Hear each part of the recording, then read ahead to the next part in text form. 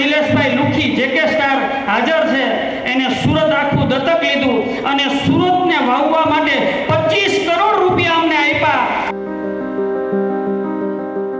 ઓછામાં ઓછા દસ દાતા એવા છે, જેને એક એક કરોડ રૂપિયા લખાવ્યા છે અને નામ બોલવાની ના પાડી છે. ઘણા બીજાના દબાવીને બેઠા છે, એટલે મોટા બન્યા છે. પણ ધન્ય છે આ મંચને કે અહીંયા ખોવાયા ઠેકાણે ખોવાયા છે. ઈશ્વરદાન ગઢવી પરિવાર તરફથી અગિયાર લાખ અગિયાર હજાર એકસો ને અગિયાર રૂપિયા હું અહીંયાથી અર્પણ કરું છું. વૃદ્ધાશ્રમ શબ્દ આવે ને એટલે બધાને એમ થાય કે વૃદ્ધાશ્રમ ના હોવો જોઈએ. દીકરાઓને પ્રેરણા નથી આપતા કે તમારા માવતરને મૂકી જાઓ. પણ જેને દીકરા નથી, એનો સદભાવના એનો દીકરો બની અને એ માવતરનું જીવન પાડે, એ અમારું લક્ષ્ય છે. જે પથારીવશ છે, એને ચમચીથી જ્યુસ કોણ પાય? એના ડાયપર કોણ બદલાવે? આવા વિચારથી અમે આ એક વૃદ્ધાશ્રમની શરૂઆત કરી. ચાર પાંચ દાતા એવા છે કે જેને અઢી અઢી કરોડ રૂપિયા લખાવ્યા છે અને એમ કીધું છે કે જરૂર પડે તો દસ દસ કરોડ રૂપિયા ઊંચીને આપશું.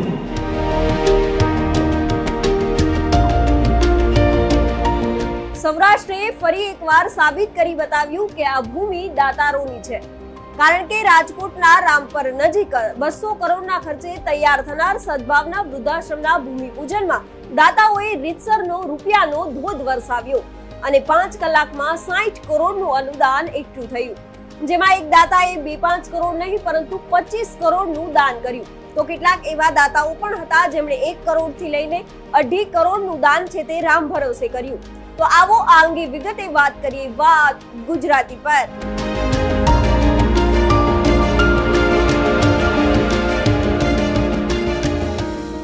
ભૂમિપૂજન કાર્યક્રમમાં સંત શ્રી પધારી સંત શ્રી પૂજ્ય મોરારી બાપુ, સંત સ્વામી પરમાત્માનંદજી, સર્વે ડાયસ મહેમાનો અને સર્વે આમંત્રિત મહેમાનો. આમ તો મેં સવારનું લખાવી દીધું હતું, મારું પ્રવચન રાખવું નહીં, કારણ કે આ પ્રવચન મારું કામ નથી. આજ પૂરું થાય, પછી કાલથી મારું કામ શરૂ થશે. પણ ખાસ તો એટલે બધાને એમ થાય કે વૃદ્ધાશ્રમ ના હોવો જોઈએ. વાત બહુ સાચી છે. પણ જેને દીકરા નથી, આખી જિંદગી કામ કર્યું છે, ક્યાંય ચોકીદાર છે, ક્યાંય લિફ્ટમેન છે, ક્યાંય હોટલમાં વેઇટર તરીકે સિત્તેર વર્ષ સુધી કામ કર્યું છે અને છેલ્લી અવસ્થામાં હવે દીકરો નથી, રહેવા ઘરનું મકાન નથી અને કેન્સર થાય, પેરાલિસિસ થાય, કિડની ખરાબ થાય, તો આવા વડીલો ક્યાં જાય? જે પથારીવશ છે, એને ચમચીથી જ્યુસ કોણ પાય એના ડાયપર કોણ બદલાવે? આવા વિચારથી અમે આ એક વૃદ્ધાશ્રમની શરૂઆત કરી. છેલ્લા આઠ વર્ષમાં પાંચસોથી પણ વધુ વડો વડીલો અત્યારે આશ્રય લે છે અને આખા ભારતમાંથી જેને દીકરા ન હોય અને પથારી વર્ષ છે એવા એડમિશન આવે છે. એટલે મેં એવું વિચાર્યું કે આખા ભારતમાંથી કોઈ પણ જ્ઞાતિમાંથી આવે, તો એને ના ન પાડવી એના માટે બે હજાર વડીલો માટેનો મેં આ વૃદ્ધાશ્રમનો વિચાર કર્યો. અને કોસ્ટિંગ ને બધું જોયું, તો મારે જે સુવિધા જોતી હતી, એ મુજબ તો બસો કરોડ રૂપિયાનો ખર્ચ થતો હતો. અમારું ગ્રુપ અમારા મિત્રો, અમારા દાતાઓએ એમ કીધું, પૈસા ઘટશે નહીં, તમે શરૂઆત કરો. આજ આજ મેં અત્યારે લિસ્ટ જોયું, ત્યારે અમારા એન્કર કમણીભાઈ એમ કીધું, એક વાગ્યા સુધી નામ બોલીએ ને, તો પણ નામ ખૂટે નહીં. એટલા બધા દાતાઓએ દાન લખાયું છે અને ઓછામાં ઓછા દસ દાતા એવા છે જેને એક એક કરોડ રૂપિયા લખાવ્યા છે અને નામ બોલવાની ના પાડી છે. કે વિજયભાઈ સિવાય મારું નામ કોઈને ન આપતા. બસ આ આપણા સૌનું કામ છે, આપણું સેવાનું કામ છે. આ વિજય ડોબરિયાનું નહીં, આખા ભારતનું કામ છે. એટલે આ સૌ સાથે મળી અને આ કામને આગળ લઈ જઈશું. વૃદ્ધાશ્રમ એ કોઈ અમે દીકરાઓને પ્રેરણા નથી આપતા કે તમારા માવતરને મૂકી જાઓ. પણ જેને દીકરા નથી, એનો સદભાવના એનો દીકરો બની અને એ માવતરનું જીવન પાડે, એ અમારું લક્ષ્ય છે. બીજી પ્રવૃત્તિ અમારી વૃક્ષારોપણની છે.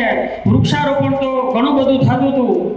આઝાદીના પંચોતેર વર્ષ પછી પણ જો અમારા દેશમાં વૃક્ષો વાવવાની જગ્યા ખાલી હોય, તો ખરેખર કમનસીબી કહેવાય. એટલે અમે એવા એવા વૃક્ષારોપણની સિસ્ટમ કરી કે જેનું આયુષ્ય બસો વર્ષ હોય અને વૃક્ષો મોટા થાય, ત્યાં સુધી એને પાણી પાઈ અને ઉછેરવા.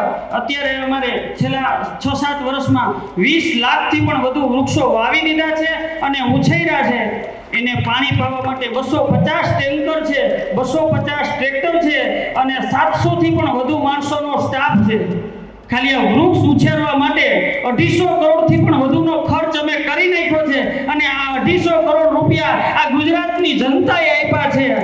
એમાં અત્યારે અમારે શૈલેષભાઈ લુખી, જેકે સ્ટાર હાજર છે. એને સુરત આખું દત્તક લીધું અને સુરતને વાવવા માટે પચીસ કરોડ રૂપિયા અમને આપ્યા. એક સિંગલ બેઠકે કોઈ ઓળખાણ નહીં. એને એમ કીધું, બસ. અને ચોખવટ કરી મારું નામ ક્યાંય ન લખતા. અમે સમજાવ્યા કે બીજાને પ્રેરણા મળે એટલા માટે અમારે તમારું નામ લખવું છે. બસ આવા દાતાઓ મળતા રહે છે. અત્યારે જે ઉપસ્થિત છે એમાં પદ્મશ્રી મથુરભાઈ ખૂબ પાણી માટે કામ કરે છે. સૌજીભાઈનો અમને ખૂબ સહયોગ છે. ઘનશ્યામભાઈ શંકર મુંબઈથી આવેલા સર્વે દાતાઓ કે જે પર્યાવરણ માટે જાગૃત છે, આવા સર્વે દાતાઓનો કાયમ સહયોગ મળતો રહે છે. ખાસ આ કાર્યક્રમ કરવામાં સરદાર પટેલ સોશિયલ ગ્રુપ મનસુખભાઈ પાણનો ગ્રુપ સંદીપભાઈ સાવલિયા, આ આખા આયોજનમાં મારો એક ટકા હિસ્સો છે. આ નવ્વાણું ટકાની મહેનત અમારા ગ્રુપની છે. અને જે બસો બસો કરોડનો વૃદ્ધાશ્રમ બને છે, એમાં અમારા ડીકે પટેલ સાહેબ ત્રિવેદ કિશોરભાઈ ત્રિવેદી, ઉમેશભાઈ માલાણી અને સર્વે બિલ્ડર ગ્રુપે એમ કીધું હતું કે ગમે ત્યારે જરૂર પડે, અમે ત્યારે બેઠા છીએ. ચાર પાંચ ચાર પાંચ દાતા એવા છે કે જેને અઢી અઢી કરોડ રૂપિયા લખાવ્યા છે. અને એમ કીધું છે કે જરૂર પડે તો દસ દસ કરોડ રૂપિયા ઊંચીને આપશું. એટલે ઊંચીના લેવાની જરૂર ન પડે. એટલું બધું દાન લખાઈ ગયું છે. બસ આ તકે સર્વેનો આભાર. ખાસ જે સંતો પધાર્યા છે, એમાંય મોરારી બાપુ બધાર્યા છે. અમારા આશ્રમે પણ વડીલોને આશીર્વાદ દેવા માટે આવ્યા હતા.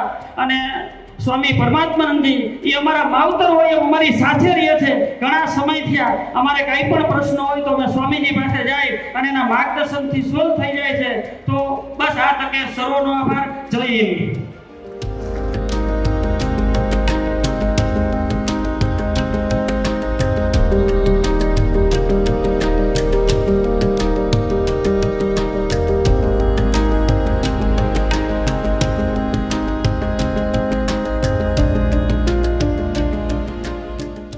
સલાહકારે કીધું, દુનિયાને આટલું બધું ન આપો. આ તો ગોળ હોય ત્યાં સુધી માખીઓ આવે સાહેબ. ત્યારે રાતના ત્રણ વાગે આલા ખાતરને ઊંઘ ઉડી અને આલા ખાતરે કારભારીને બોલાવ્યો કે, તમે મને દિવસે કંઈક હું દરબાર ભરીને બેઠો તો ત્યારે સલાહ આપતા હતા કે, જી બાપુ, દુનિયાને આટલું બધું ન આપો, આ તો જ્યાં સુધી ગોળ હોય ત્યાં સુધી માખીઓ આવે. એટલે આલા ખાતરે કીધું કે, રાતના ત્રણ વાગ્યા છે કારભારી અને આ રેશમી કપડું ઊંચું કરો. એટલે ગોળની ભીલી પડી હતી ગોળ પડ્યો હતો એટલે કીધું કે રાતના ત્રણ વાગ્યા છે અને ગોળ પડ્યો છે માખીયું લઈ આવી દો એટલે કીધું કારભારી એક બાપુ એમ માખ્યું ન આવે એ તો દિવસે આવે. ત્યારે આલા ખાતરે કીધું કે મારો ભાઈ દિવસ છે ત્યારે દુનિયા મારી પાસે આશા લઈને આવે છે આમનામ નથી આવતી. ત્યારે અહીંયા બેઠેલા દાતારોને પરમાત્માએ આપ્યું છે, એમનો દિવસ છે. ત્યારે એ આપે છે, એટલે એકવાર આપણે જોરદાર તાળીઓથી સૌને વધાવીએ. અને હું તો આ બધા આ બધા દાતારો પાસે બહુ નાનો માણસ છું. રૂપિયે ટકે ખૂબ નાનો માણસ છું. પરિવારથી ખૂબ મોટો છું. ચારણત્વથી ખૂબ મોટો. પણ આમ રૂપિયા ટકે ખૂબ નાનો, પણ મને એમ થાય છે કે આ વહેતી ગંગામાં બધા પોતાના પાપ ધોવે છે અને પોતે પવિત્ર થાય છે. તો આ ઈશ્વરદાન ગઢવી પરિવાર કેમ રહી જાય? તો નાનકડી એવી ભેટ હું આ લોકો સદભાવના ટ્રસ્ટને હું અર્પણ કરું છું. જ્યારે નિર્માણ પામે અહીંયા વૃદ્ધાશ્રમ, ત્યારે ઈશ્વરદાન ગઢવી પરિવાર તરફથી અગિયાર લાખ, અગિયાર હજાર એકસો ને અગિયાર રૂપિયા હું અહીંયાથી અર્પણ કરું છું અને સૌ વિવેક સાથે ટ્રસ્ટીઓ આનો સ્વીકાર કરે એવી જ વિનંતી સૌ આપ સૌને. જય માતાજી. જય માતા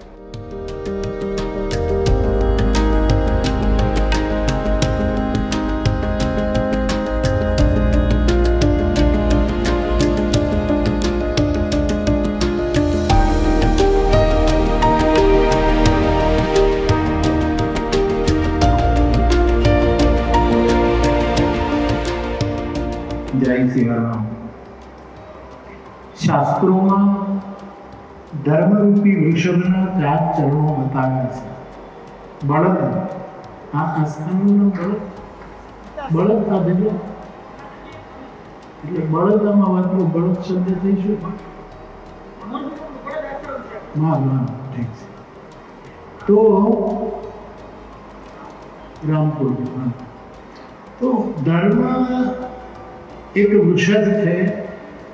એના ચાર ચરણ આપણે ત્યાં બતાવ્યા છે. એક સત્ય, બીજું તપ, ત્રીજું શૌચ અને ચોથું દાન.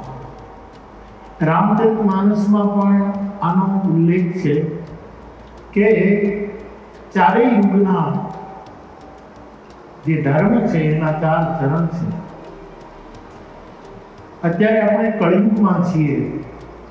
એટલે ધર્મનું એક ચરણ જે સત્ય છે, એ આપણે કેટલું નિભાવી શકીએ? નહીં નિભાવીએ એ આપણને ખબર નથી. આપણો માઇન્ડ જાણતું હોય છે. પછી તપ. આપણે કેટલું તપ કરી શકીએ? એ પણ અત્યારે કળિયુગમાં જરા કહેવું મુશ્કેલ છે.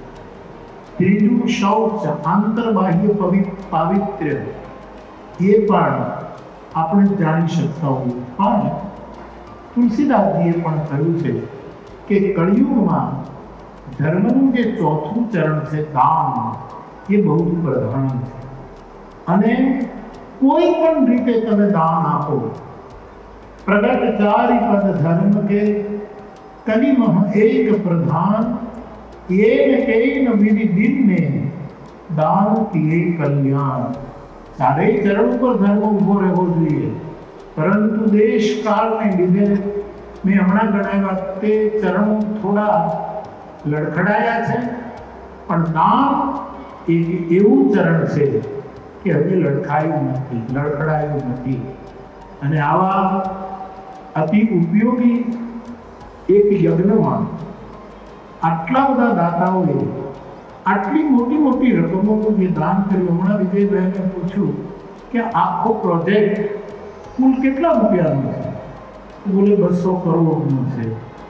એમાં પચીસ કરોડની તો જમીન અને પછી બાકીનું બાંધકામ.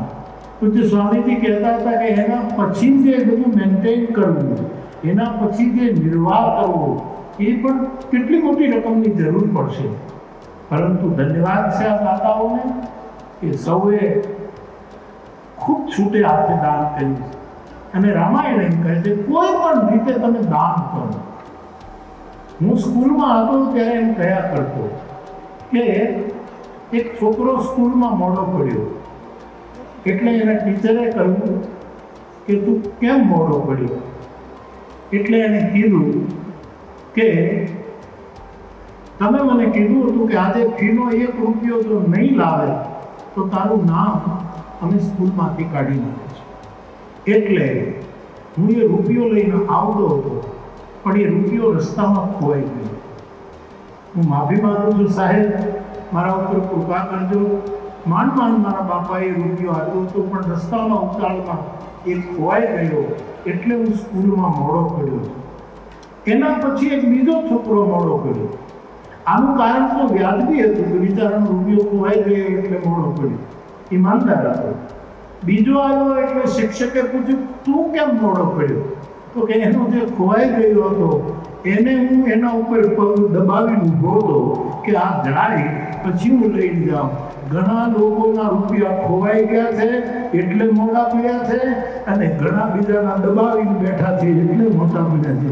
પણ ધન્ય છે આ મંચને કે અહીંયા ખોવાયા હોય તો એ સારા ઠેકાણે ખોવાયા છે. અને જે કઈ રીત ગણો એ રીતે આપ સૌએ બહુ છૂટા હાથે દાન આપ્યું છે, એનું એક સાધુ તરીકે બિરદાવું છું.